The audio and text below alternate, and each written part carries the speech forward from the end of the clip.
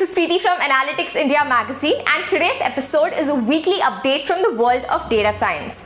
Everything from new launches, latest research, cyber threats and events that have happened in the past 7 days will be covered here. So let's get started. As always, starting with the launches, Anduril launches small drones and offers to inject more AI into warfare. A team of small drones, each resembling a small sensor-laden helicopter, scoured a lush stretch of wilderness near California. They spent hours circling the sky, seeking among other things surface-to-air missile launchers lurking in the bushes.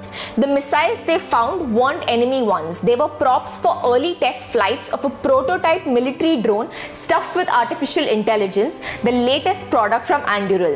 According to the company, the Ghost 4 is designed for an array of mission types, including aerial intelligence, surveillance, cargo delivery, counter intrusion, signal intelligence, and electronic warfare. Coming to the next news, Alexa launches Alexa Print, a way to print lists, recipes just by using your voice. Amazon primarily wants you to be able to print out your to do list or your shopping list, both of which are safeguarded by Alexa already, without having to go through the hassle of browsing the web to fetch that data. You can also print some crossword puzzles of worksheets for kids or a semi random recipe for a particular ingredient.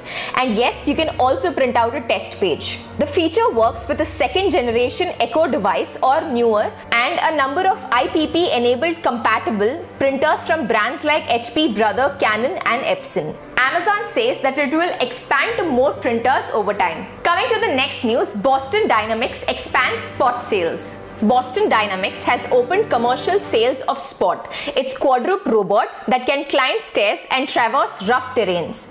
Boston Dynamics started selling the Spot Explorer developer kit to US businesses for $74,500 in June.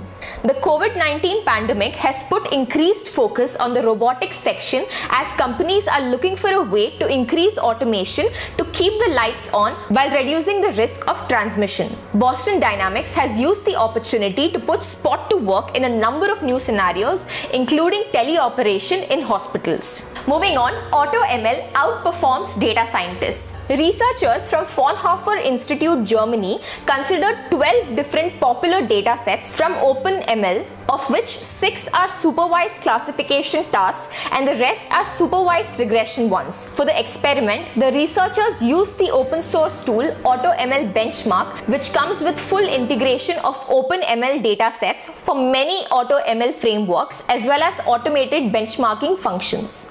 According to the researchers, the results of this survey can be summarized as the following.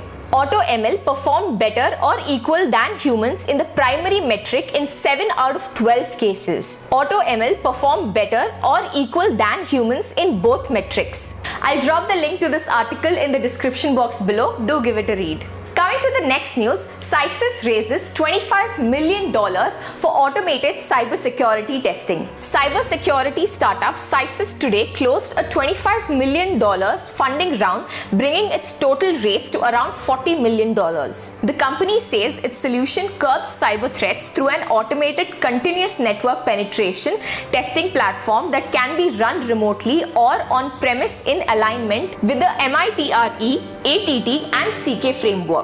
Its platform, which doesn't require installation or network reconfiguration, uses algorithms to scan and ethically attack enterprise networks. Coming to the last news, Ola is facing legal challenges. Two ride hailing drivers are taking India based Ola to court in the Netherlands in another test case targeted at algorithmic management of gig workers. In the Ola challenge, the ADCU says the drivers received only partial data in response to requests for their information under GDPR, such as not receiving data stamped GPS data.